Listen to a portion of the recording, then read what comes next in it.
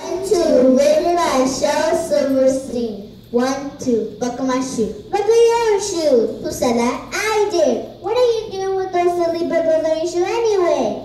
Three, four, shut the door. You shut it. You opened it. Er, five, six, pick up sticks. Why should I pick them up? Do you think I'm your slave? Buckle my shoes. Shut the door. Pick up six. The next thing you'll be telling me to lay them straight.